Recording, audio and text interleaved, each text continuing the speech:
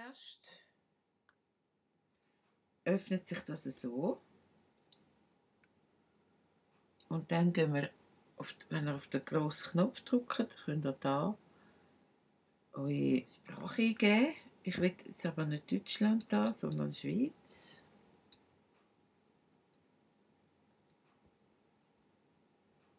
Schön, schön, schön. Also, dann gebt ihr, dann gebt ihr euer Internet Code ein. Dann geht es weiter. Und dann fragt, fragt ihr euch Sachen, sagt ihr ja oder nein. Entweder will er, entweder will er bei Siri und Standort und ich weiß nicht was aktivieren. Und darum mache ich da auf deaktivieren. Jawohl.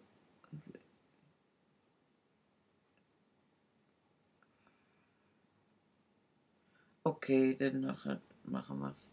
Dann wir es aktualisieren. Gerade einstellen, aktualisieren.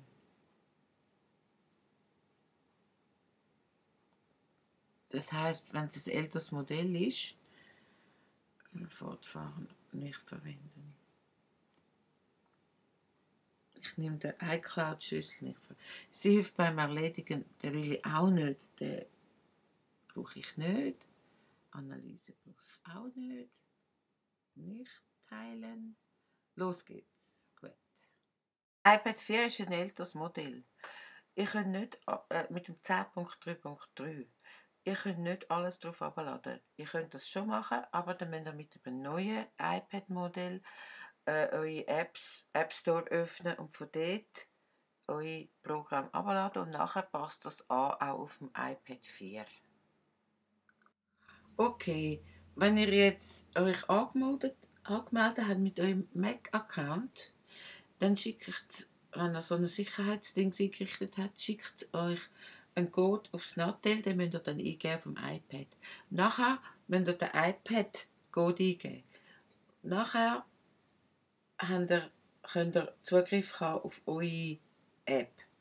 Und jetzt, bevor ihr das macht, könnt ihr äh, später äh, anstößige Inhalte können jetzt oder später zugelassen werden. Ich, ich das später einrichten. Dann gehe ich jetzt mal auf Käufe. Jetzt muss ich wahrscheinlich noch mal mein ah, äh, ich muss mich jetzt mal anmelden beim, äh, App Store. Ich auf Anmelden. Ja. Dann gehe ich mit meiner App, Apple ID rein. Und dann könnt ihr eben auf eure Käufe, die ihr tätigt habt, zugreifen. Was ist jetzt los? Er macht's. Ja. Und dann müsst ihr eben nicht nochmal zahlen. Da mache ich auch später. Jetzt keine Lust für das. Aber da könnt ihr einstellen wegen euren Kindern und so. Das sind aber nicht meine Käufe. Das habe ich nicht gekauft. Was sind meine Käufe? Hallo? Da. Das sind meine Käufe. Jetzt kann ich abladen, was ich jetzt brauche auf dem iPad, will ich nur kreativ sein. Ich will nicht mit dem kommunizieren. Ah, ich könnte aber, aber ich will es nicht. Jetzt sind da, wenn ich WhatsApp kann ich, könnte ich draufladen. Ähm, Sprachmemo tue ich nicht. Gehen wir ganz runter, fang unten an. Es ist so wie Weihnachten mit Facebook, Viber. Wenn ihr ein Cellular habt, äh, das 16 GB ist ein Cellular, das heißt, ihr könnt äh, eine Karte drin tun und dann könnt ihr mit Viber telefonieren. Die anderen könnt ihr einfach äh, schreiben und ihr habt überall Internet. Also ich lade sicher iMovie ab. Wenn es ein älteres Modell ist, sagt er, äh, er muss eine andere Version laden. Das gleiche ist bei GarageBand. Die zwei brauche ich, für, für, damit ich kann, äh, malen kann. Wenn ich Kind habe, dann lade ich auch ein paar das aber. Allerdings muss ich mich wahrscheinlich amigs entscheiden, ob ich jetzt will malen oder ob ich will gamen. Je nachdem, wenn ich ein 16 GB habe, kann ich nicht beides aufs Mal. Das braucht viel zu viel Speicher. Aber ich kann wieder auf die Käufe gehen. Ich, ich zeige euch nachher, ich kann die einen löschen. Dann kann ich es aber wieder draufladen, ganz easy. Da könnt man SBB, YouTube tue ich auf jeden Fall abladen. Weil da kann man eine schöne Idee holen. Da die Siedler ist noch ein gutes Game. So, so können alle das brauchen. Meine Mutter, meine Enkel. Ich möchte euch nochmal darauf hinweisen, es ist ganz wichtig, wenn ihr zuallererst euren App Store, eure Einkäufe auf dem App Store äh, einrichten und, und so viel wie möglich auch gratis, super gute Programme abladen macht das auf einem neueren iPad äh, 11. irgendwas oder iOS 12.2.2, auf das sind die meisten heute updated. Weil ihr könnt auch gratis Programme wie GarageBand, iMovie und Pixelmator und so dort abladen. Und was nicht geht, direkt aufs iPad 14.3.3. Dann könnt ihr es dort abladen und könnt euch nachher dort wieder abmelden. Dann könnt ihr euch auf eurem iPad, wo es 4 ist, anmelden und könnt dort eure Sachen abladen und es zeigt dann an, ob es soll angepasst werden als iPad 4. Und Autodesk Sketchbook unbedingt drauf. Dropbox unbedingt drauf. Weil wenn ich Dropbox habe, muss ich nicht immer äh, Fotos Cloud und all das offen haben und mit alle meine 5 Millionen Fotos, die ich auf dem Kompi habe und auf anderen, auf dem Phone und so, immer alles da drauf ist.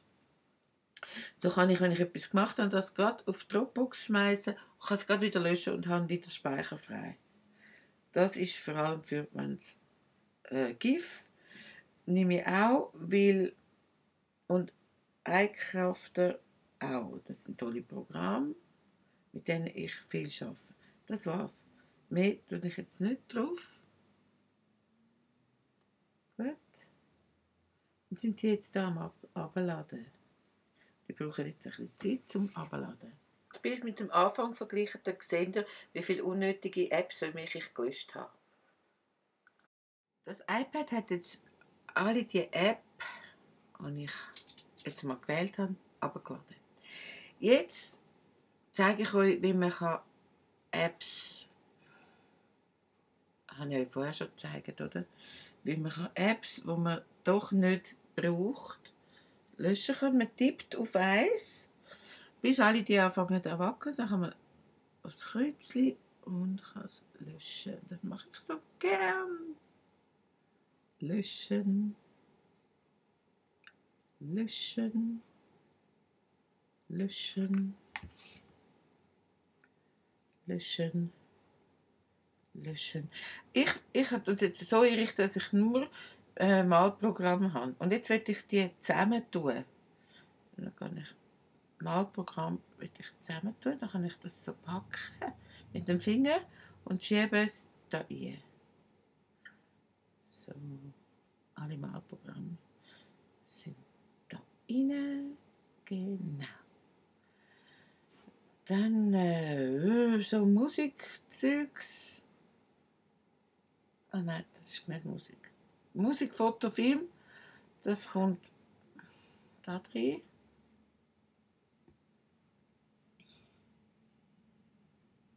Ja.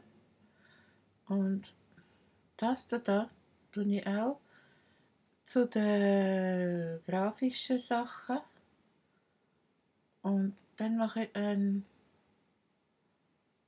ein so mit den Sachen vom iPad. Komm da hin. Rein. Rein. Und ich jetzt nicht brauche.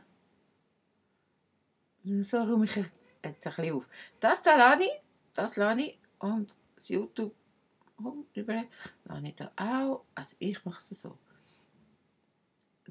Dropbox lasse ich auch da. Das kommt auch noch da über und das auch noch. So. Gut. Jetzt will ich das Dienstprogramm ist gut. Unterhaltung will ich nicht, dass Unterhaltung heißt. Ich kann tippen auf den Titel nebendran und dann kann ich das so benennen, wie ich es will. Grafik zum Beispiel. Da das gleiche, Foto, Audio, da, da, da tue ich noch Film rein. Film. So, fertig. Dann, das lassen wir so. Sehen Sie, jetzt ist das übersichtlich. Jetzt kann ich schauen auf Info. Wie viel Platz braucht das jetzt schon? Ah, damit es nicht mehr wackelt, kann ich auf den grossen Knopf einmal drücken. Jetzt gehe ich auf Einstellungen. Dann gehe ich auf Info. So.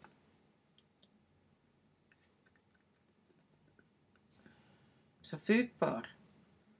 Ja. 4 Giga hat, braucht er jetzt, hat er jetzt gebraucht. Ungefähr. Für die. Gut. Jetzt gehe ich da weg. Dann gehe ich auf, auf eines von diesen Grafikprogrammen. Und mal etwas. So, dann gehe ich es speichern. Ich werde euch zeigen, wie man das machen kann mit, dem, mit der Dropbox. Gehe ich es speichern und ähm, so. Und, und dass das wirklich, obwohl alles ausgeschaltet ist, das jetzt in Bild sichern. Das heißt, okay, ich möchte auf deine Fotos okay sagen. Dann wir wollen nochmal auf Einstellungen gehen. Einstellungen, da. Und jetzt würde ich das Foto ausschalten. Die ganze Mediathek. Da? Ich brauche die nicht. Vom iPad entfernen. Das,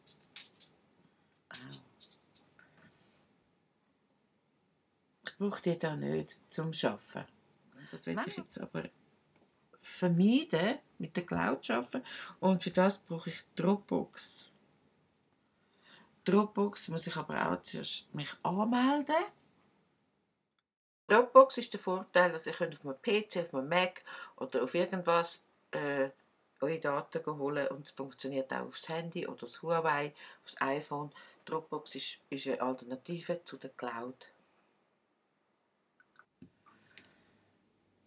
Ich will nicht äh, etwas zahlen, ich kann, ich kann Basic und bleibe da bei der Basic überspringen,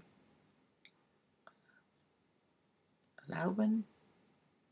Und jetzt, das ist meine Dropbox, da kann ich hin und her Daten auf mein iPad oder umgekehrt vom iPad auf den Kompi oder aufs Nattel oder was auch immer, kann ich auch machen. Ich muss einfach die Dropbox überall abladen.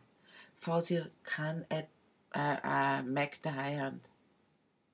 Gut, jetzt zeige ich euch, wenn ich da ein Foto kann, das Foto, das Foto, das Bild, das ich gemacht habe, jetzt kann von da, das ist natürlich auch anklicken, auf Dropbox schicken kann. Dropbox, Dropbox, Dropbox, genau. Und Ordner auswählen, muss ich noch machen. Sich auch direkt machen, wenn ich das da habe. Und ich will jetzt äh, auswählen, Auswahl, also auswählen und jetzt gehe ich auf das Viereck mit dem Pfeil, Bild keine transparent und jetzt kann ich es auch da an Dropbox schicken. Ganz, ganz sofort aufräumen. Ganz sofort aufräumen, alle Entwürfe und alles so weg. Weg damit. Dann habt ihr immer Ahnung von ihm. Das gleiche ist, wenn ihr das Programm braucht.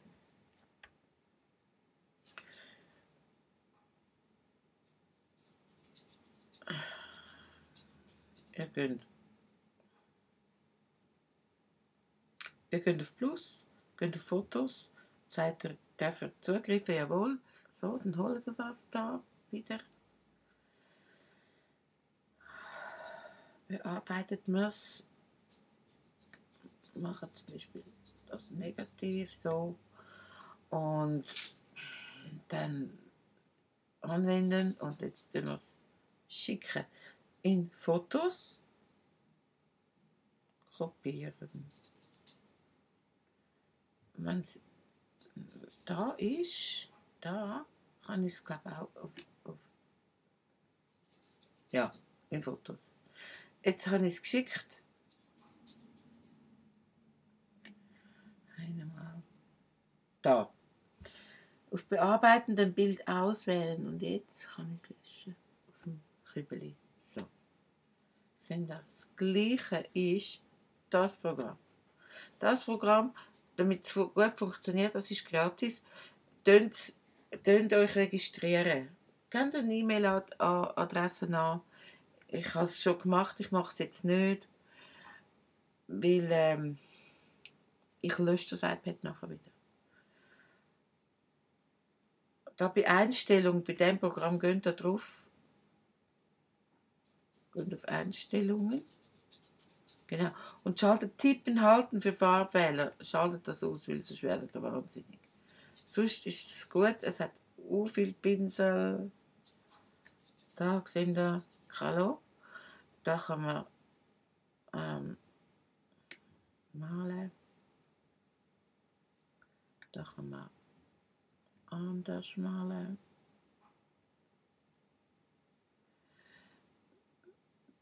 Was der Vorteil ist von dem, es hat unbegrenzte Möglichkeit zu malen und unbegrenzte Möglichkeit zum Layers beifügen da. Vielleicht auch, äh, es hat Sachen von Photoshop.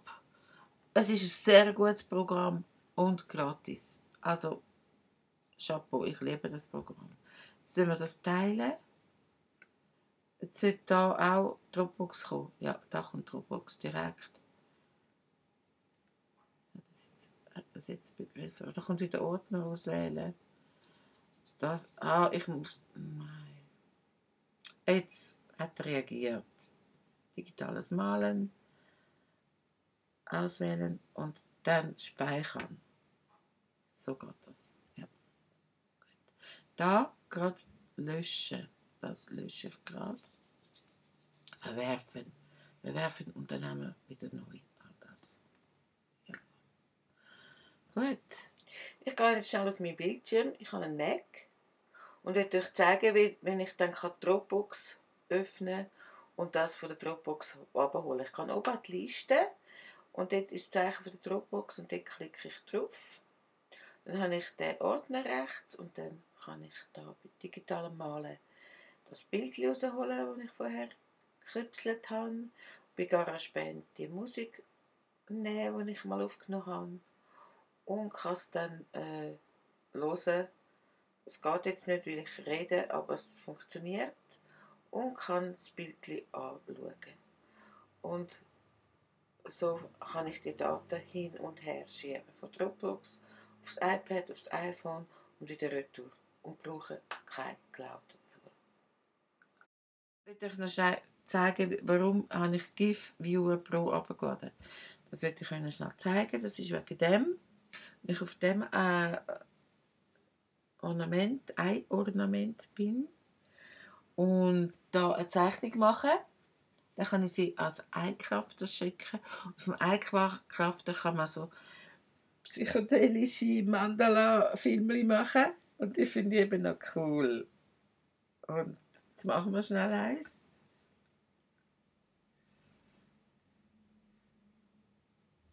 So.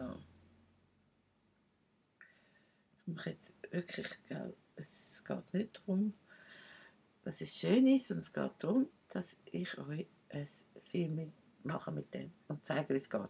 Gut, ihr habt da wunderschöne Zeichnung gemacht, dann geht auf das Fotoapparat da unten, geht auf 3D basteln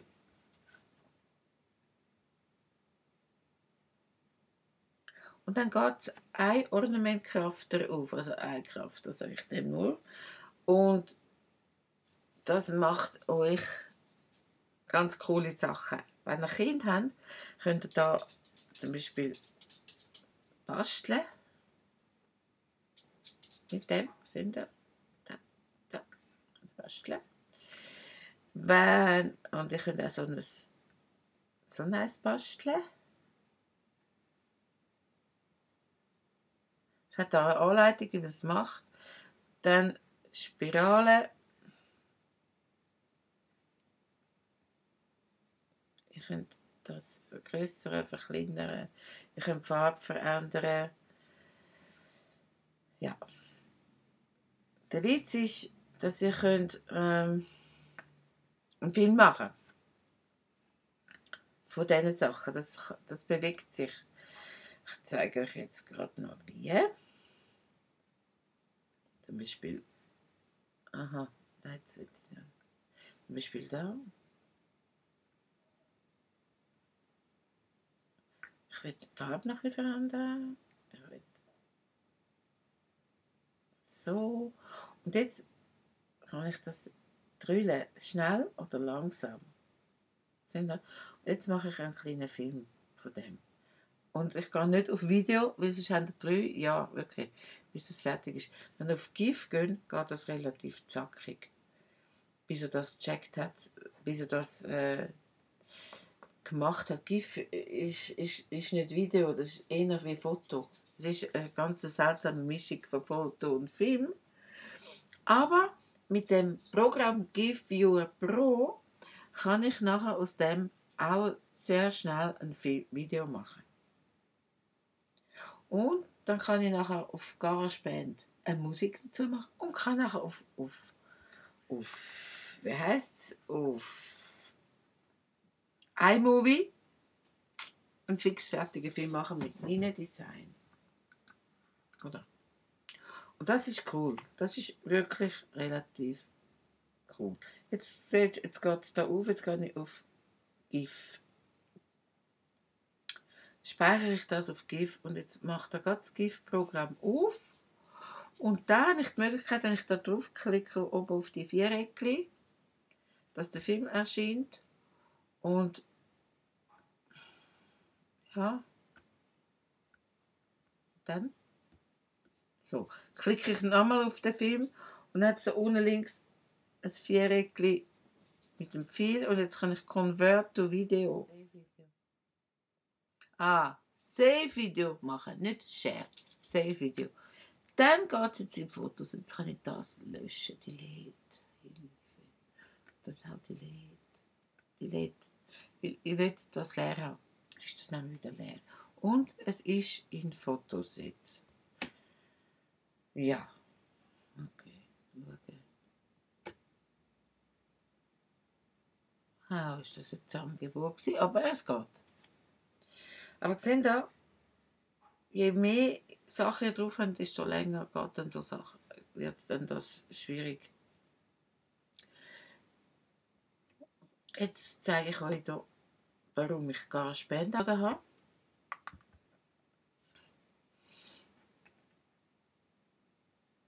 GarageBand ist wirklich ein ganz wahnsinnig tolles Programm. Und ich würde äh, einen kleinen Film machen kann ich darstellen können.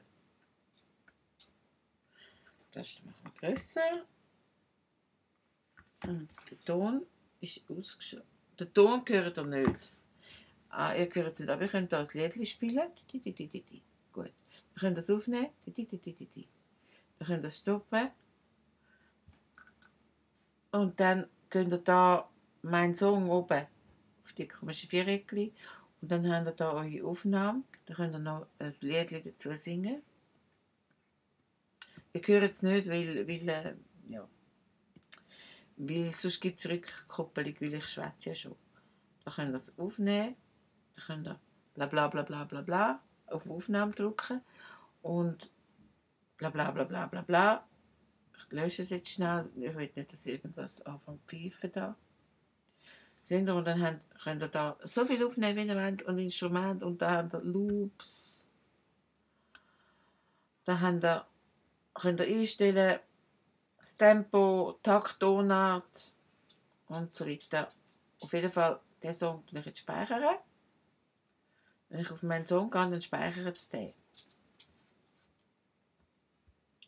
Und dann kann ich den, nein, so auswählen. Jetzt kann ich den schreiben, einen Namen geben, sonst heissen alle mein Song, mein Song, mein Song. Fertig. nochmal auswählen und jetzt wenn wir den auch schicken. Dann müssen wir auswählen, dann wir schicken. Ich schicke ihn auf Dropbox. Ich habe auf meinem Mac ein Programm, wo das kann, wo auch GarageBand ist, dann kann er das so auch, äh, lesen, obwohl es nicht konvertiert ist in irgendetwas. Nicht komprimiert. Teilen. Und dann habe ich ihn auf der Dropbox, kann ich ihn bearbeiten auf dem Kompi. Oder ich meine, ich habe jetzt eben iTunes zugemacht. Sonst kann man ihn an iTunes schicken, auf dem Tablet. Und dann kann man von iTunes dort holen. So. Auswählen und speichern. Jetzt ist es auf dem GarageBand-Ordner. Ich weiß nicht, ob, ob iMovie mache alle Fenster wieder zu, zusammen auf den grossen und die nach oben ziehen.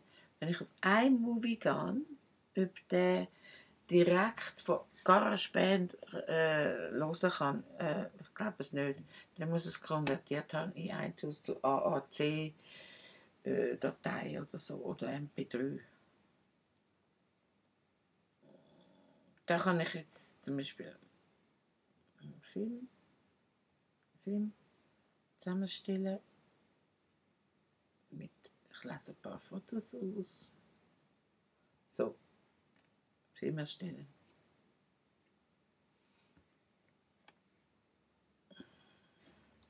Dann habe ich da einen Anfang und suche mal Musik. Dann gehe ich zu Einstellungen und, und kann da eine Filmmusik nehmen hat dann nicht viel Auswahl, aber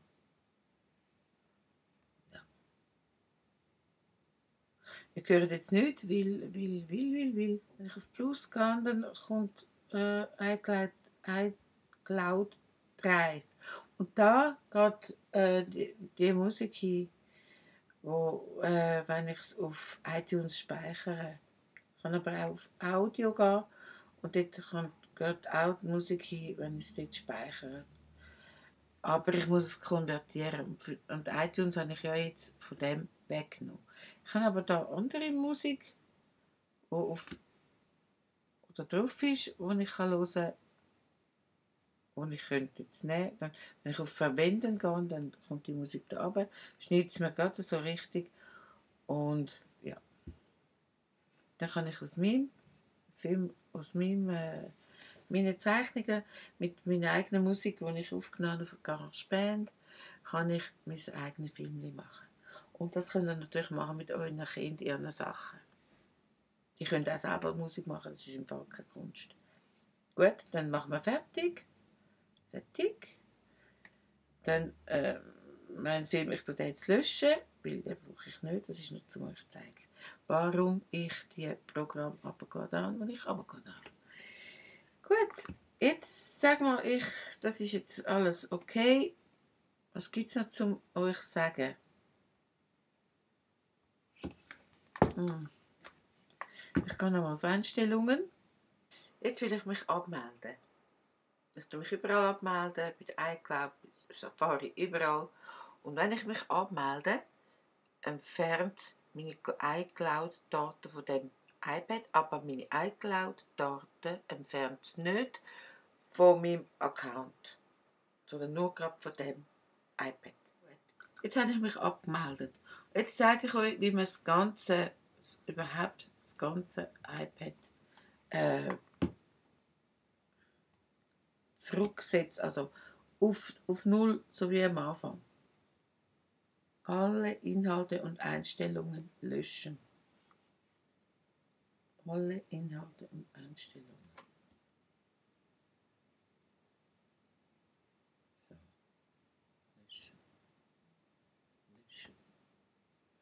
Und jetzt ist er wieder am Anfang, jetzt löscht er alles wieder. Es ist wieder am Anfang und jetzt kann man es